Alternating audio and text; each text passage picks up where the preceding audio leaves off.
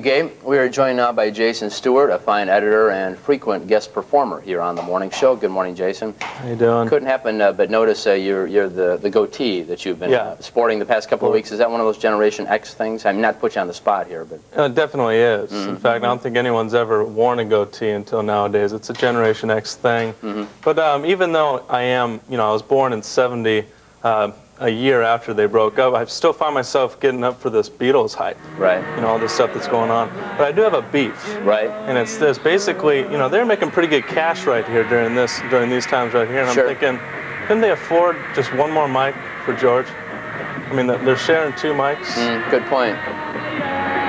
Yeah, they always did, yeah.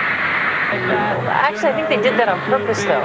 They do it that way because it, it kind of evens out the harmony and sounds better. All right, thank you, Jason, for your, uh, for your beef uh, this morning. Uh, still to come, the holidays are here. We'll tell you